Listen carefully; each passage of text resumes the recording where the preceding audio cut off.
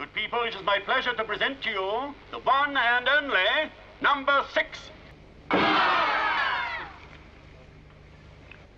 am not a number. I am a person.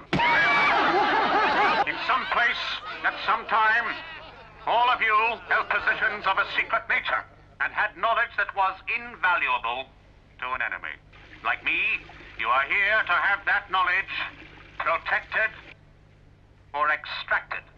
That's the stuff to give them. Unlike me, many of you have accepted the situation of your imprisonment and will die here like rotten cabbages. Keep going, they'll love it. The rest of you have gone over to the side of our keepers. Which is which? How many of each? Who's standing beside you now? I intend to discover who are the prisoners and who the warders. I shall be running for office in this election. Good people, let us applaud a citizen of character. May the better man win, and a big hand for number six.